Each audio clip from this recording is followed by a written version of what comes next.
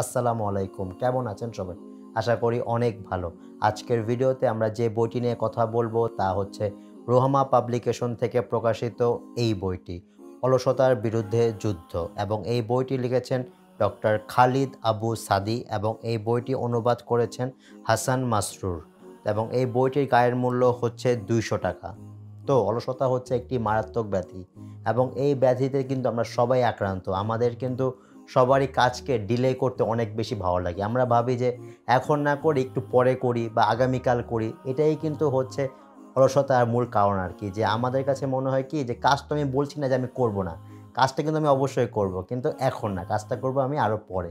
তো সেই ক্ষেত্রে এই বইটি কিন্তু ইসলামিক আলোকে লেখা, যা নাকি আরও বেশি ভালো হয়েছে। কারণ ইসলামিক আলোকে লেখা থাকলে হয় কি, আপনি একসাথে দিন এবং দুনিয়া দুইটাই বুঝতে পারবেন আর কি যে ইসলামিকভাবে কি হয় বা আমাদের যে বাস্তব যে দুনিয়া সেখানে বা কী হয়।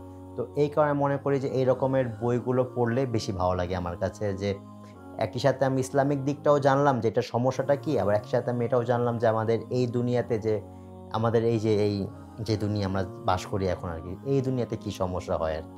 তো এই ক্ষেত্রে আমি বলব যে এই বইটি খুবই সহজ করে অনুবাদ করা হয়েছে, যে মনে হবে না অনুবাদ করা হয়েছে, এত সহজ করে লেখা। যে কোনো পাঠকের জন্য উপকারী হবে এবং একই সাথে এই বইটি পড়লে কিন্তু আপনারা বুঝতে পারবেন যে কীভাবে অলসতা থেকে মুক্তি পাওয়া যায়। কারণ এই অলসতা কিন্তু কোনো সাধারণ কোনো বিষয় না, এটা কিন্তু একটা সিরিয়াস একটা ইস্যু কারণ আমরা, আমাদের অনেক পোটেনশিয়াল নষ্ট করছি শুধুমাত্র এই অলসতার কারণে। আমাদের যেটা মনে হয় যে আমরা এখন করতে পারতাম, আমরা ভাবছি থাকি, একটু পরে করি। আগামীকাল করি। তো এইরকম দেখা যায় যে আগামীকাল করতে করতে আমাদের জীবনের কিন্তু অনেকগুলো আগামীকাল নষ্ট হয়ে গিয়েছে, যার কারণে আমরা আমাদের ফুল পোটেনশিয়ালটা দিতে পারিনি এবং আমাদের যে লক্ষ্যে যে পৌঁছানোর কথা ছিল তা আমরা পৌঁছাতে পারিনি, শুধুমাত্র অলসতার কারণে। তো এই অলসতা থেকে মুক্তি পাওয়ার জন্য আমরা যদি এরকম একটি বই পড়তে পারি, তাহলে আমি মনে করি এটি আমাদের জন্য অনেক উপকারে আসবে। আর কেন উপকারে আসবে? কারণ হয় কি, আমরা না অনেক সময় জানি না যে কোনটাতে আমাদের ভুল হচ্ছে বা কোনটাতে আমরা আর কি ভুল কাজগুলো করছি। তো সেই ক্ষেত্রে এরকম যখন বই আমরা পড়ি, তখন কি হয়? তখন এগুলো আমাদের চোখ খুলে দেয় যে, না, ও আমি এই ভুলটা করছি, তাহলে তো আমার এটা এখন থেকে মুক্তি পেতে হবে। আমরা যখন আমরা নাই জানি যে, আমাদের কি হয়েছে? যদি আপনি আপনার রোগটাই না জানেন যে, আপনার কী রোগ আছে? তাহলে আপনি ডাক্তারকে গিয়ে কী বলবেন বলেন?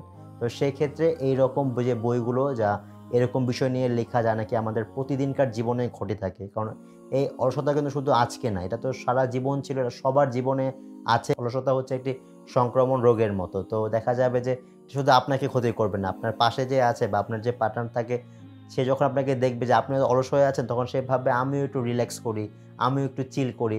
তো এই যে রিল্যাক্স এবং চিল করতে করতে দেখা যাবে তাদেরও সময় নষ্ট হয়ে যাবে এবং এই অলসতার কারণে আরও যে সমস্যাগুলো হয়ে থাকে, তা হচ্ছে যে আমরা কিন্তু আমাদের নামাজের মধ্যে অনেক ডিলে করি। আমরা আমাদের দৈনন্দিন যে দোয়াগুলো বা জিকিরগুলো, এমনকি আমরা কিন্তু পবিত্র কোরআনও রেগুলার পড়তে পারি না। আমরা কিন্তু আমাদের জ্ঞানের দিক থেকে অনেক পিছিয়ে যাচ্ছে। আমরা ভাবি যে, আমরা তো সব জানি, আমাদের এত কিছু জানার দরকার কি, তাই না? তো এরকম করে যে, অলসতা করতে করতে আমরা কিন্তু আমাদের দুনিয়াটাও হারাচ্ছি, একই সাথে আমরা আমাদের যে, আখিরাতের যে জীবনটা, সেটাও নষ্ট করছি। শুধুমাত্র এই অলসতার কারণে। তো এই বইটিতে কিন্তু পুরো অলসতার বিষয় নিয়ে কিন্তু পুরোটা লেখা হয়েছে। যার কারণে মনে করি যে, যখন আপনারা পড়বেন, আপনারা কিন্তু বুঝতে পারবেন যে, আসলে এটা কতটা ভয়ানক একটা জিনিস এবং বিখ্যাত ব্যক্তিদের উক্তি দেওয়া আছে, তারা কি মনে করেন এইসব বিষয়ে? তো আমি মনে করছি যে এই বইটি আমাদের সকলেরই পড়া উচিত, যে কোনো পাঠকে এই বইটি পড়তে পারবেন, কারণ এই বইটি তো অলসতা বিষয়ে লেখা, আর অলসতা আমাদের সবার মধ্যে আছে, তাই না?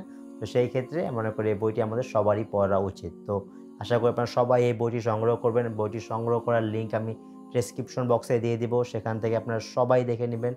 এবং এই ভিডিওটি সম্পূর্ণ দেখুন এবং এই ভিডিওটি আপনার প্রিয়জনকে শেয়ার করুন, যেন সেও এই বইটির ব্যাপারে জানতে পারেন। তো আজকে এই পর্যন্তই। আবার দেখা হবে আগামীকাল। সেই পর্যন্ত সবাই ভালো থাকুন, সুস্থ থাকুন এবং সবথেকে জরুরি নিজের খেয়াল রাখুন। আসসালামু আলাইকুম সবাইকে।